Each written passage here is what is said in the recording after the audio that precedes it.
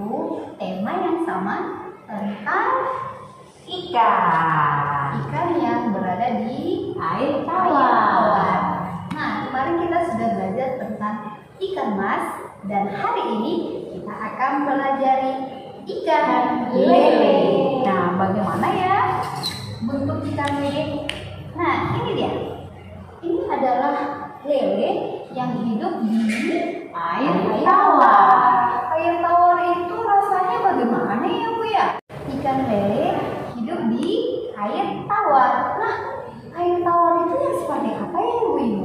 Air tawar itu seperti yang ada di Danau Toba.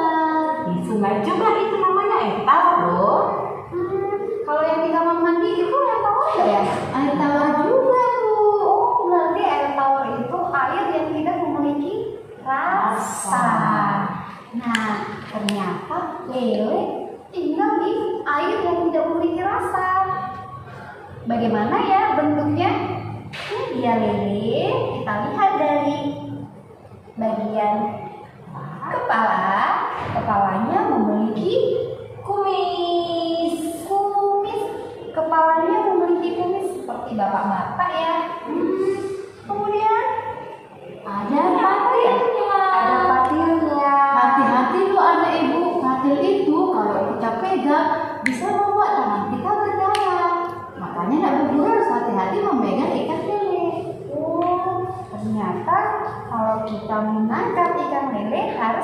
harus berhati-hati supaya tangan kita tidak kena sakit dan berdarah. Nah, yang kemudian badannya ini bagaimana ya bentuknya?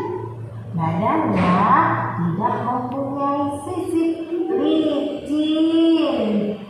Tapi kalau ikan mas mempunyai sisik, jadi berbeda. Tapi sama-sama ikan loh. Oh, begitu. Iya. Nah, kalau kita melihat warnanya, ikan mas warna apa ya? Warnanya ada yang merah, ada yang kuning, ada juga bu warna hitam. Kalau ikan lele Warnanya warnanya itu bu, dia tahan hidup, tahan hidup di dalam lumpur. Lain dengan ikan mas. Kalau ikan mas dia akan langsung pingsan. Iya, warna ikan lele warna hitam. Oh begitu. Kalau kita melihat ekor, ini ekor nggak? Iya, Oh, ini ekornya. ekoris. Ekornya ini tajam apa enggak ya?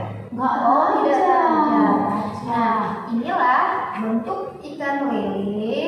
Tadi kita sudah sebutkan bagaimana bagian mulutnya yang memiliki kumis, terus ininya tadi patilnya dan sampai ke ekor. Nah, kegiatan kamu untuk hari ini kita akan membahas bagaimana ya huruf-huruf yang ada pada ikan lele.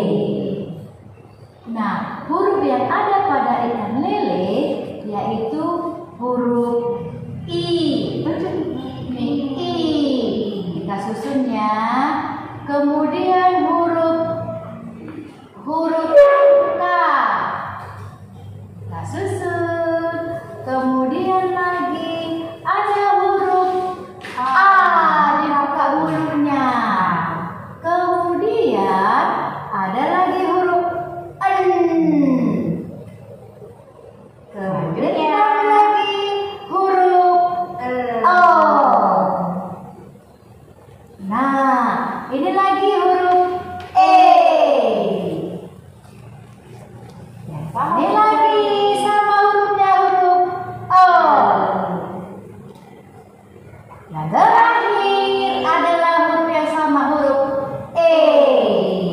Kita baca sama-sama.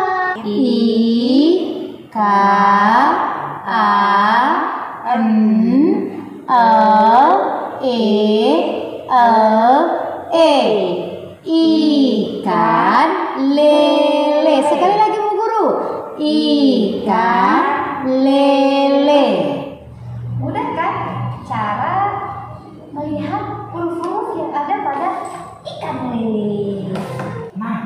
Ada lagunya loh tentang lele.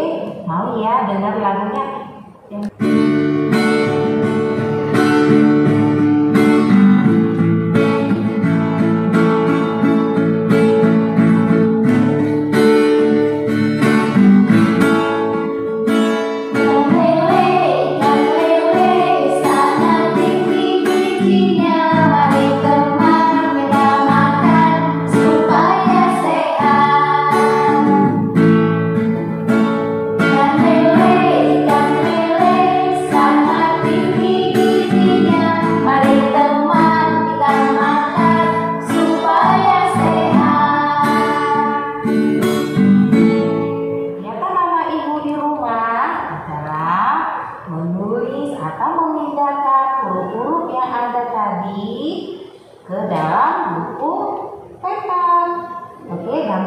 saya.